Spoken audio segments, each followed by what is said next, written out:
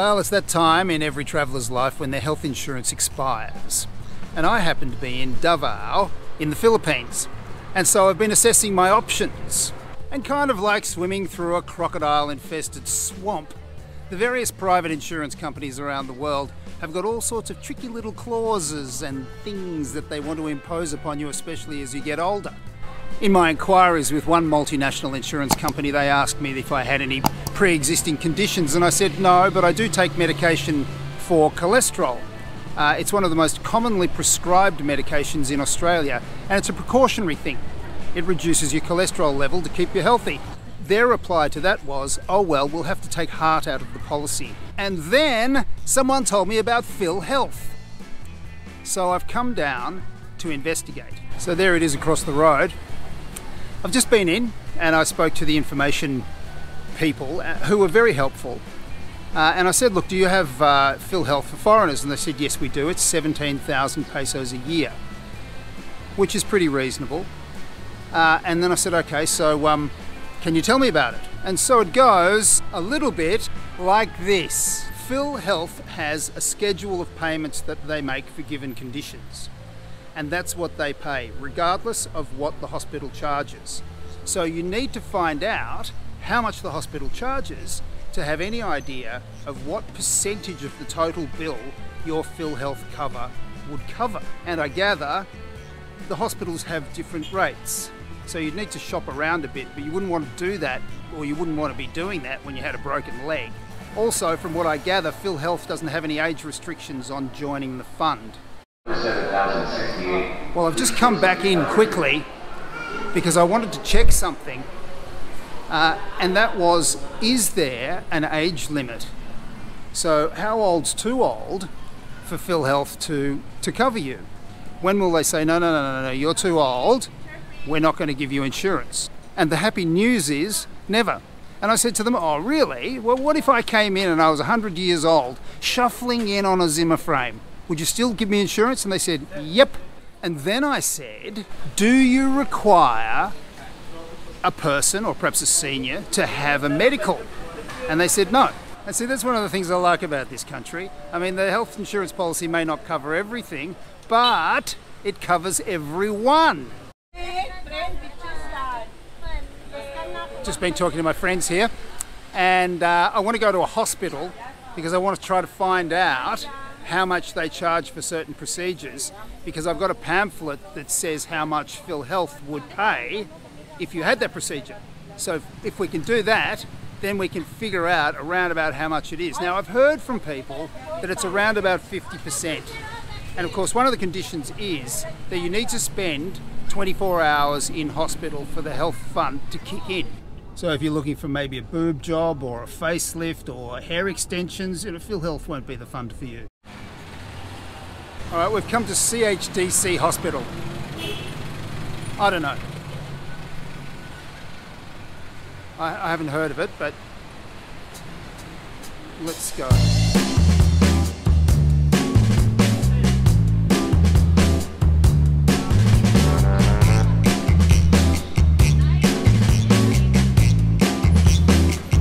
Well, I just went into the hospital and had a chat with uh, the billings department and uh, it's it's quite a, a, difficult thing to ascertain.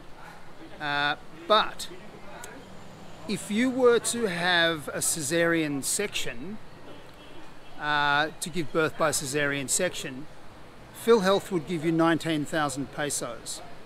They estimated that the bill would be 150,000 pesos. If you were to have your appendix taken out, which is called an appendectomy, Phil Health would give you 24,000. They estimate that the operation would cost around about 160,000. But this is a private hospital. So I'm going to go to a government hospital and see if the schedule of charges is perhaps a little less. Because I want to figure out around, about how much uh, cover I'm going to get when I join Phil Health. We're in another taxi and we're heading to SPMC Hospital, which is a government hospital, which is the Southern Philippines Medical Center. And we'll find out there uh, what their prices are. But I'm getting hungry. I'm at SPMC Hospital and I'm at the billing section, so I'm just going to find out as much information as I can. Oh, okay, that was interesting. Well, I went inside and they were extremely busy, and they certainly didn't need an Australian vlogger giving them a headache. But after being shunted around all over the place, I, I got a couple of prices and I'm really quite surprised.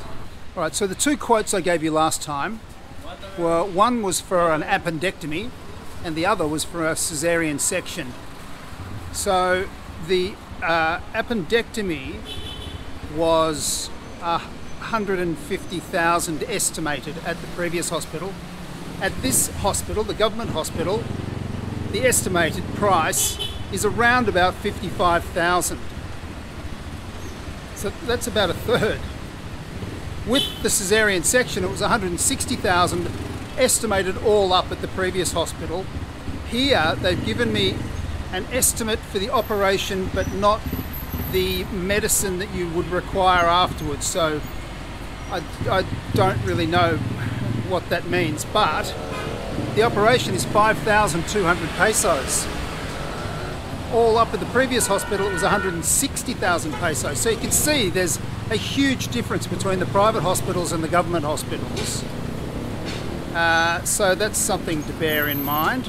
And at 5,200, at 5,200 for the cesarean section, PhilHealth is paying 19,000.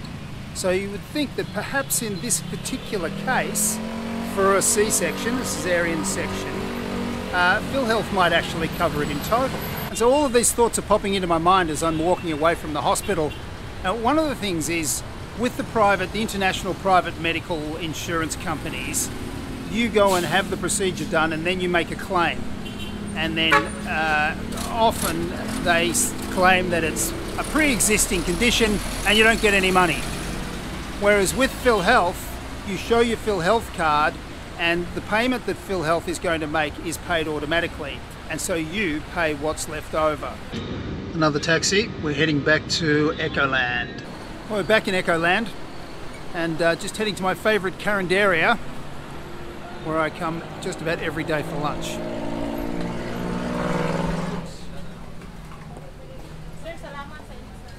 Oh, it's jam packed.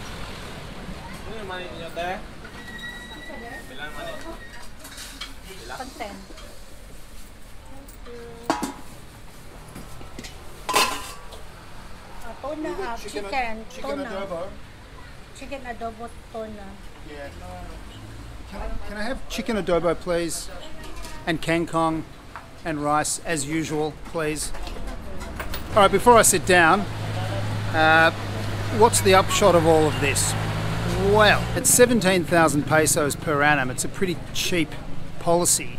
Uh, and so, you know, it, it looks like at times it could possibly cover certain things, and at other times it might only cover maybe even 20, 20 30%. Um, so it's not full coverage, and it's only for big things. It's only if you're admitted to hospital. Uh, so it's something, and perhaps not enough for some people. I'm not sure whether you could supplement it with another policy. Uh, I'm really not sure if you could do that, so that's something for you to look into.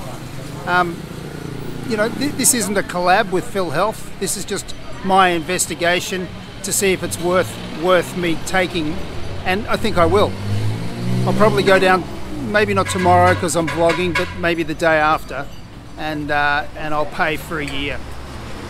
And this is Raquel, one of the sisters who owns this place. Hello. How often do I come here? Yeah, every day. Yes. And just about every day I have the same thing: chicken adobo, kangkong, and rice, and it's delicious. yeah, that's his favorite every day. Mm. That's your favorite, kangkong and chicken adobo. Chicken adobo, And a cup of rice. kangkong chicken adobo, and a cup of rice. Doesn't get any better than that.